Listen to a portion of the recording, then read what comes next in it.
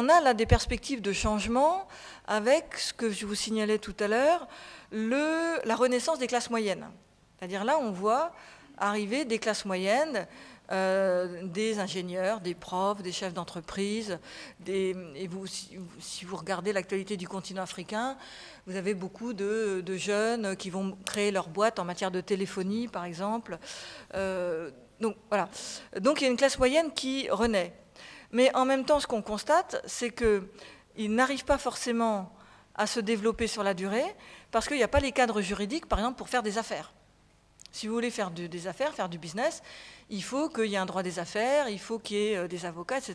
Et donc souvent, ils butent, là-dessus sur le, les dire pas des infrastructures, mais les, euh, structures euh, juridiques, par exemple, en matière de de, climat des affaires, euh, les, tribunaux aussi, hein, quand vous avez des, litiges. Mais bon, euh, ces classes moyennes sont de retour, facteur très important pour le développement, je le disais, sans classe moyenne, il n'y a pas de développement, euh, mais c'est pas ça que je voulais vous dire. Oui, donc ces classes moyennes auxquelles j'ai fait allusion tout à l'heure, elles portent une dynamique. Ça va aller où? C'est ça la, question. Euh, je vous disais tout à l'heure, euh, en Afrique du Sud, on a en partie une, euh, une, classe moyenne hédoniste qui se jette dans la consommation. Ça, on le voit beaucoup dans l'Afrique anglophone, moins dans l'Afrique francophone, même si ça existe quand même en Afrique francophone. Alors on n'est plus censé aujourd'hui officiellement parler d'Afrique lusophone, francophone, anglophone, mais il reste quand même malgré tout euh, des points communs et des distinctions. L'Afrique francophone est un peu plus, est un peu à la traîne par rapport à l'Afrique anglophone. C'est-à-dire on voit des dynamismes euh, de développement en Afrique anglophone qu'on ne voit pas en Afrique francophone. C'est-à-dire les pays qui sont en tête sont souvent euh, des pays anglophones et pour les pays francophones c'est plus euh, difficile. Et euh, bon, on pourra en, reparler si ça, vous intéresse. Le souci c'est l'encadrement. C'est la classe moyenne, c'est la classe dirigeante. Vous avez une partie de la classe dirigeante qui regarde quand même toujours vers Paris malgré tout. Hein. une partie de la classe moyenne également c'est-à-dire souvent, euh, c'est vers euh, l'Europe qu'on se tourne, c'est vers la France qu'en Afrique francophone, on va se tourner. C'est-à-dire euh, un président, par exemple, un président d'Afrique francophone, quand il est malade, il ne va, pas se faire soigner à l'hôpital de Dakar, qui est pourtant très bien, il va se faire soigner à Paris. quand il, il, doit envoyer ses enfants faire des études, il ne les envoie pas dans des universités africaines, il les envoie à Paris, ou euh, en Europe.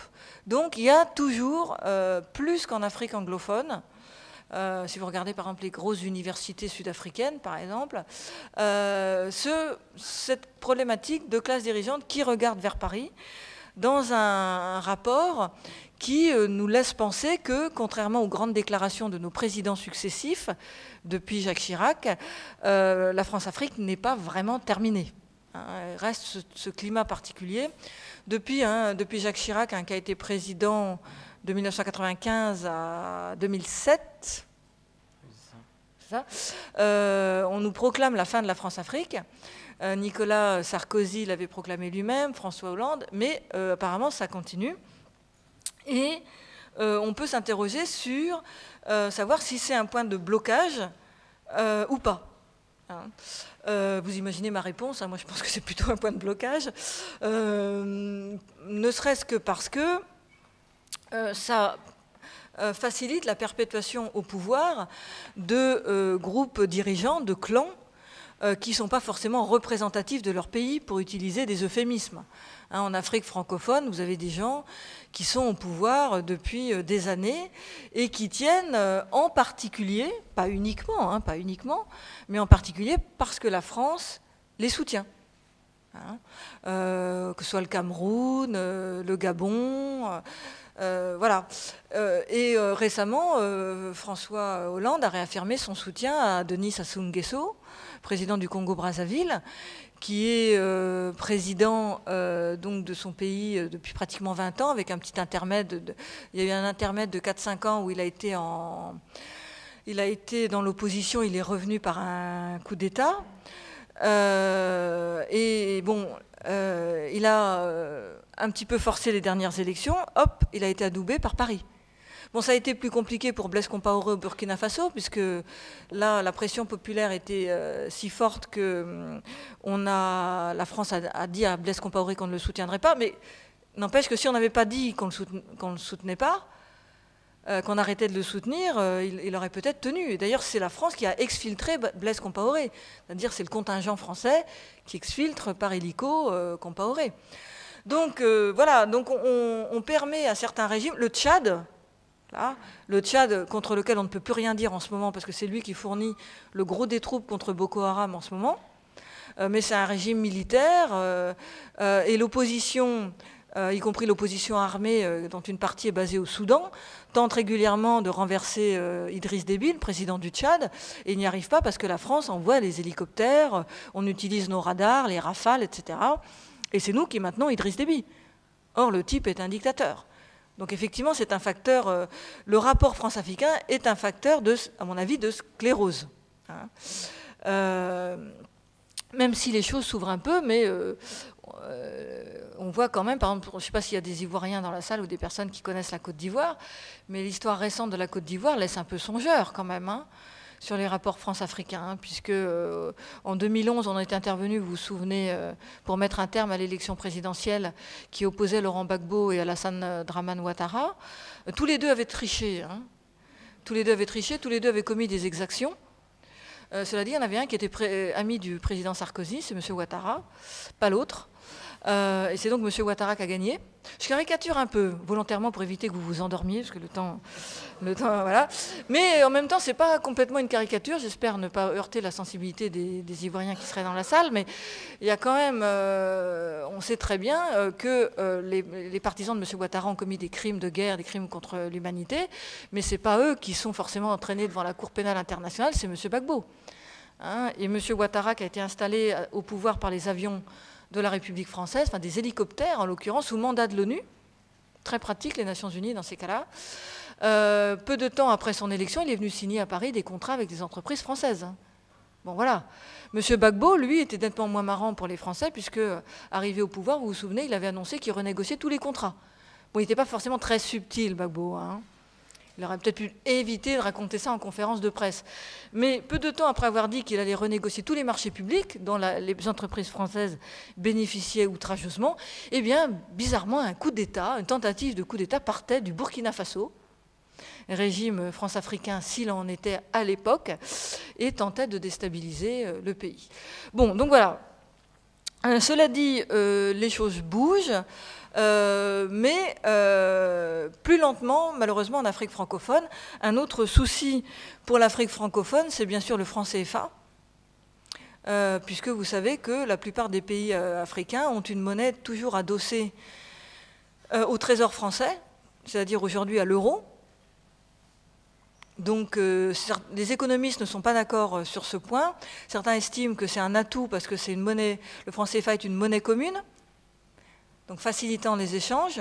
Et d'autres économistes dont j'ai plutôt tendance à partager l'idée pensent que le franc CFA est un handicap, euh, ne serait-ce que parce qu'il il arrime les monnaies d'Afrique francophone à l'euro.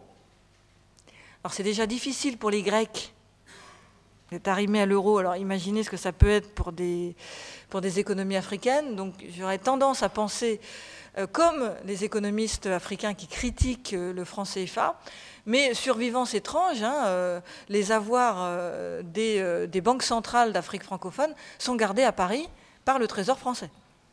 60 ans après les indépendances, c'est quand même une bizarrerie, mais c'est le cas. Et il y a un débat actuellement sur, sur le franc CFA. Donc, l'idée que je voulais faire, faire passer aujourd'hui et, surtout partager avec vous, pardon, discuter avec vous, c'est cette idée que, euh, la situation du continent africain aujourd'hui, dont on a dit qu'il était en transition avec des situations paradoxales et contradictoires, ne doit rien au hasard. Euh, cette situation, euh, elle n'est pas liée à la fatalité. Euh, elle est liée à des mécanismes. Je dis ça parce que j'ai été un petit peu choqué, peut-être certains d'entre vous aussi, par le livre qu'a écrit mon confrère euh, Stephen Smith il y a quelques années, euh, qui s'appelait Négrologie, pourquoi l'Afrique meurt Euh, Stephen Smith est un journaliste franco-américain, donc il a écrit un livre il y a quelques années qui s'appelait Négrologie, pourquoi l'Afrique meurt, dans lequel il expliquait tranquillement que si l'Afrique était en difficulté, c'était bien de sa faute. C'est parce que ses dirigeants étaient nuls, sa population incompétente, qu'ils n'avaient rien compris au capitalisme, et il disait même dans un chapitre que si on remplaçait les Africains par des Asiatiques, eh bien, euh, le continent serait développé. Euh, voilà, en disant que les Asiatiques, euh, euh, un cliché en, succédant à un autre, sont beaucoup plus travailleurs, n'est-ce pas, que les Africains, dont il, était presque sur le point de les qualifier de, feignants. Donc, ces visions perdues, il hein, ne faut pas, faut pas se leurrer. Hein, vision un peu fataliste, euh, les Africains finalement, bah, de toute façon ils comprennent rien, ils n'ont rien compris au développement, euh, ce sont de mauvais entrepreneurs, puis de toute façon ils sont un peu feignants. Euh, ça, ça perdure ce discours-là, hein, pas ici dans cette salle, hein, mais on l'entend encore malheureusement. Et Stephen Smith, dont je vous citais le livre Négrologie, est une personne qui est écoutée dans les lieux de pouvoir. donc donc voilà, ce discours existe. Donc évidemment, ce n'est pas la thèse que je défends devant vous ce soir, euh, mais la thèse que je défends devant vous ce soir, c'est que le continent africain est dans cette situation pour des raisons donc systémiques liées à l'organisation euh, de l'économie euh, mondiale. Et tout à l'heure, j'évoquais brièvement la question du libre-échange et, si vous vous souvenez, du de la bizarrerie qui consistait à considérer que le Mali pouvait euh, entrer en concurrence avec des pays comme la Chine. Bon. Bien, euh, on est globalement euh, dans les institutions financières internationales toujours sur ce discours-là. C'est-à-dire que le continent africain doit se développer par l'insertion dans la mondialisation. Le discours du Fonds monétaire international, même s'il évolue un petit peu ces temps-ci, c'est toujours dans l'idée ouvrez les marchés, exportez. Euh, au nom de l'idée du libre-échange, hein, que, dans cette maison vous connaissez bien, la théorie du libre-échange, hein, la théorie des avantages comparatifs, que euh, tout le monde peut trouver sa place dans le libre-échange euh, en, trouvant par exemple un produit ou un service qui va permettre de faire la différence sur les marchés mondiaux et du coup de se développer, donc de trouver une espèce de niche, si vous voulez, je résume un peu grossièrement. Euh, et donc on demande au continent africain de faire ça. Et je commençais à vous dire tout à l'heure que, à mon avis, euh, ce système-là ne peut pas marcher pour le continent. Et je pense d'ailleurs qu'il a à peu près marché nulle part. je vous dis ça aussi par provocation. Et je, pense que ça relève des médicaments qui tuent. Ça relève des médicaments qui tuent, euh, c'est-à-dire que plus le continent africain s'ouvre, plus il est vulnérable à une concurrence déséquilibrée et à une mondialisation qui favorise les rapports de force. Et euh, on le voit par exemple en ce moment en Afrique, vous avez peut-être suivi ça, la négociation des accords de partenariat économique que l'Union européenne a imposé euh, aux pays africains depuis l'accord de Cotonou en 2000. Euh, les accords de partenariat économique sont basés pour le libre, sur le libre-échange et très concrètement, vous avez des États africains qui s'y sont opposés, qui ont fini par céder malheureusement. Et sur cette thématique, justement, euh, que le libre-échange dans des situations déséquilibrées euh, renforce les inégalités de rapport de force. Il ne les corrige pas. Et vous avez dans les débats Afrique-Europe, en ce moment, Afrique-Union européenne, euh, des débats, par exemple, dont vous avez peut-être suivi les, développements sur le poulet. Par exemple, les, pays africains se battent beaucoup sur la question du poulet, puisqu'ils reprochent aux pays européens de faire entrer sur les marchés africains par le, biais des accords de libre-échange du poulet congelé euh, européen, déjà rentabilisé sur le marché européen, parce que nous on est en surproduction, comme vous savez. Hein. Euh, nous sommes en surproduction. Euh, donc on expédie euh, sur les marchés africains du poulet congelé, qu'en Afrique ils ont surnommé le poulet avion, parce qu'évidemment il débarque par avion, et qui fait concurrence au poulet local qu'ils ont surnommé le poulet bicyclette, puisque c'est celui qui, euh, qui court, qui a le temps de courir chez les petits producteurs. Et c'est symbolique, c'est symbolique cette histoire du poulet, mais il y a plein d'autres exemples parce que c'est le petit producteur africain de poulet, il ne peut pas concurrencer euh, le poulet européen qui arrive quasiment à prix coûtant euh, sur les marchés euh, africains. Et, vous avez des batailles sur plein de produits, sur l'oignon, par exemple, vous avez des grosses batailles sur, sur l'oignon. Mais sur des tas de produits, les pays africains se battent pour obtenir de l'Union européenne qu'elle leur permette de, mettre des droits de douane sur certains produits. Alors, ils gagnent dans certains cas, si vous regardez dans le détail les accords de partenariat économique, mais globalement, les accords de partenariat économique qui, sont signés, euh, qui ont été signés récemment euh, impliquent une baisse des droits de douane, euh, qui, se traduit par des baisses de recettes pour les administrations africaines, et puis ce qui permet aux pays, aux produits européens ou, autres d'entrer dans des conditions avantageuses sur les marchés africains. Et euh, il me semblerait plus logique, euh, et c'est l'une des thèses qu'on défend dans ce manière de voir, à l'appui d'économistes comme le Sénégalais Sanoumbaye, qu'on permette aux pays africains de protéger leur marché, au moins dans une phase transitoire, avec des droits de douane plus élevés, de manière à ce qu'il y ait un marché local qui se développe. Hein, euh, euh, suivant la, logique de ce qu'on a appelé euh, il y a quelques années les politiques de développement autocentrées. C'est-à-dire qu'on va, dans un premier temps, sur certains produits, protéger les marchés de manière à permettre à l'économie locale de se développer. Et puis une fois qu'elle est plus forte, eh bien, on peut ouvrir à la concurrence. Mais dans un premier temps, si on veut que les producteurs locaux se construisent, eh bien, il faut que le marché soit protégé. Euh, vous, me voyez venir avec mes gros sabots. Euh, c'est exactement ce que nous avons fait, nous, en Europe, avec la politique agricole commune. La politique agricole commune qui a été relancée via le traité de Rome à partir de 1962, c'était une politique quasi soviétique. Si vous vous souvenez, où on fermait les frontières, on subventionnait les agriculteurs, on taxait les produits qui rentraient, on fixait les prix en Conseil des ministres. Ah bah, bon, ça c'est vraiment euh, le, comble de, de l'horreur pour un libéral ou un libre-échangiste moyen niveau je sors ma patte de lapin, mon fer à cheval pour conjurer le sort, mais normalement on ne peut pas fixer administrativement les prix. Eh bien, c'est ce que les Européens ont fait pendant des années dans le cadre de la politique agricole commune, et heureusement qu'ils l'ont fait, sinon l'agriculture européenne ne se serait jamais relevée euh, après la Deuxième Guerre mondiale. Et c'est seulement depuis 1994, la signature des accords de l'OMC à Marrakech, Organisation mondiale du commerce, et que euh, la politique agricole européenne est en surproduction, qu'on s'ouvre. Mais on souffre depuis qu'on est fort. Effectivement, maintenant, on démantèle la politique agricole, et encore, ça fait débat. Hein. je ne sais pas si vous avez abordé ce sujet ici, la situation des agriculteurs européens. Bon, bref. Mais en tout cas, euh, on est en surproduction. On a retrouvé de, très fortes, euh, de très forts avantages. Et c'est maintenant qu'on est fort qu'on s'ouvre à la concurrence, qu'on baisse les droits de douane, qu'on enlève les subventions. Et c'est précisément ce qu'on interdit de faire aux Africains. On interdit aux Africains de pratiquer ce type de politique pour des raisons d'une part idéologiques, parce que l'idéologie dominante dans les institutions financières internationales, c'est l'idéologie du libre-échange, et puis parce qu'il y a des intérêts colossaux en jeu. Évidemment, nous profitons, nous, Européens, mais aussi les Américains, qui sont très protectionnistes aussi à leur tour, hein, euh, de cette ouverture des marchés africains. On continue, évidemment, euh,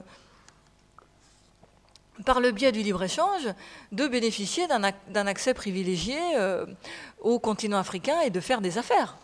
Hein, Sanoumbaï, l'économiste sénégalais à qui on a donné la parole dans ce manière de voir, dit que le continent africain, c'est le continent où il y a le plus, fort taux, qu'on appelle ça, le plus grand retour sur investissement pour les entreprises européennes. Parce que la fiscalité est folklorique, euh, parce que la main-d'œuvre coûte pas cher, euh, parce que vous pouvez rentrer sans droit de douane, parce que si, parce que ça. Donc, euh, donc voilà, euh, tout ça, on en profite. Et quand euh, certains pays veulent se lancer dans le développement autocentré, eh bien, on, les, arrive, on parvient à les en empêcher. Donc, ce système international, il faudrait arriver à le questionner, l'interroger, le mettre en doute. Euh, sinon, on ne parviendra pas au développement de l'Afrique. Les choses évoluent puisque les institutions financières internationales commencent euh, à reconnaître une partie quand même du souci, puisque vous, déjà elles ont reconnu l'échec des plans d'ajustement structurel. Fonds monétaire international a reconnu que ces politiques qu'on a imposées aux pays africains était en, échec, le plan d'ajustement structurel, qui était basé donc ces politiques, sur des politiques de libre-échange et de libre-échange et de libre concurrence. Et le FMI, le Fonds monétaire international, avait même publié un rapport il y a quelques années qui avait un titre évocateur, puisque le titre c'était Douleur et croissance, dans lequel le FMI s'interrogeait, mais enfin, comment se fait-il que la croissance ne produise pas le développement Et il commençait à s'interroger sur les politiques qu'ils avaient fait mener aux pays africains depuis un certain nombre d'années. Donc, l'ajustement structurel, c'est fini. Maintenant, on parle de lutte contre la pauvreté.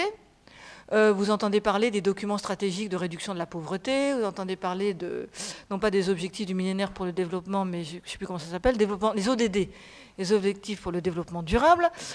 Euh, malheureusement, hein, euh, côté FMI, Banque mondiale, on a peut-être changé les noms, mais on n'a pas vraiment changé les politiques. Hein. C'est-à-dire que dans le cadre des DSRP, des documents stratégiques de réduction de la pauvreté, vous retrouvez quand même les gros sabots libre-échangiste, euh, libre concurrence, etc. Donc on n'est pas dans l'idée que j'ai évoquée devant vous à l'instant, de mettre peut-être au moins pour une phase transitoire, entre parenthèses, le libre-échange, pour permettre aux pays africains de renforcer leurs économies, leur marché intérieur, et d'affronter euh, la concurrence. Mais il y a un doute. C'est-à-dire, on n'est plus dans le discours qu'il y avait il y a 20 ans euh, sur la mondialisation heureuse et il suffit d'ouvrir pour prospérer.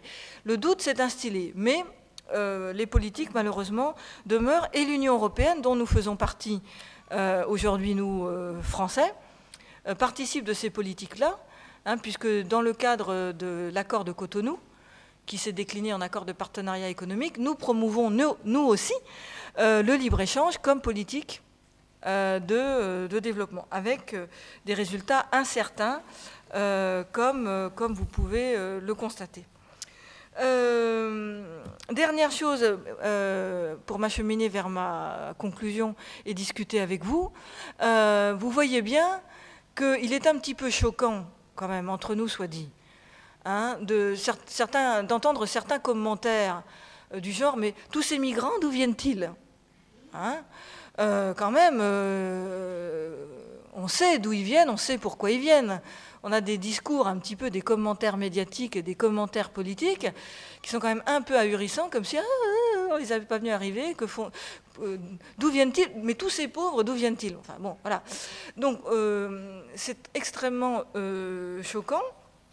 Et il y a dans cette manière de voir, de la part de nos amis dirigeants, de notre classe dirigeante, quelque part un refus de regarder la réalité en face. Hein, puisque il y a eu le sommet de Malte il y a quelques jours, sur cette question des migrants, on a négocié des accords sécuritaires. C'est des, accords de réacheminement. Ah, on, a, débloqué quelques millions d'euros, mais il n'est pas question de tout revoir. Hein. Donc il y a un refus d'affronter la réalité parce qu'elle nous obligerait à des remises en cause politiques auxquelles nous ne sommes pas prêts. Hein.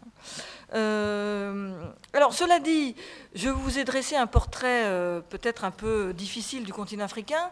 Euh, cela dit, je, ne suis pas pessimiste. Je suis inquiète, ça c'est un peu normal, d'une manière générale d'ailleurs, mais je ne suis pas pessimiste dans la mesure où je pense que l'intérêt, la caractéristique de cette période, c'est qu'elle est ouverte, comme je vous l'ai dit en début de présentation. Donc, le champ des possibles est ouvert. Et le fait que des gens comme Blaise Compaoré aient pu être euh, chassés par la population de manière pacifique est un signe d'espoir. Le fait qu'il y a des classes moyennes qui renaissent, c'est un signe euh, d'espoir. Donc le jeu s'ouvre. Euh, en revanche, le défi, il est du côté de la capacité des pays africains à construire un discours politique qui leur permettra de mettre toute leur énergie et tous leurs moyens dans un sens cohérent qui permettra le développement. Et de notre côté, il faut qu'on les laisse faire.